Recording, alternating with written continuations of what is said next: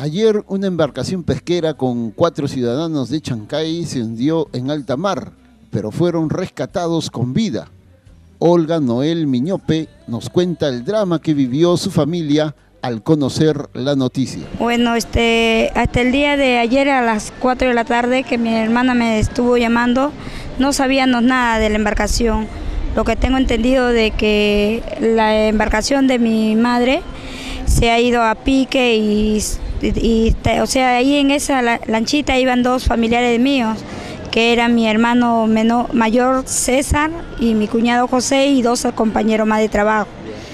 ¿Qué pasa? De que unas lanchas, damos gracias a Dios de que lo han encontrado bien con vidas a todos ellos.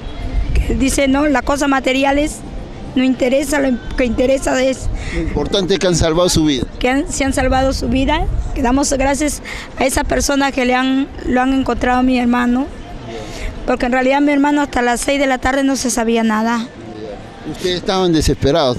Sí, mi mamita estaba desesperada, mi hermano Jaime, Julio han estado en capitanía dando informe. Hasta el día de mañana tenemos que esperar que mañana entren en, en Ancón, van a entrar todos ellos.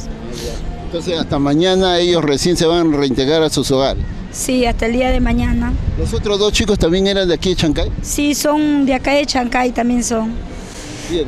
Felizmente, como tú dijiste, no ha habido pérdidas humanas, que es lo más importante, y bueno, ya tu familia está más tranquila.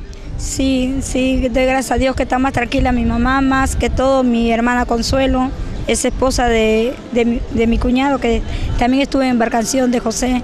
Explicó que aún no se conocen claramente los motivos de este accidente, estando este proceso en investigación. No, no se, no se ha llegado a saber hasta el día que vengan ellos y nos cuentan que en realidad lo que ha pasado con la En embarcación. cuanto a la embarcación, ¿se perdió o, o puede ser rescatada?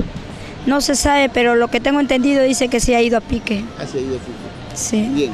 Entonces, más calma y ahora pues a tomar precauciones para no otro trabajo. Así es.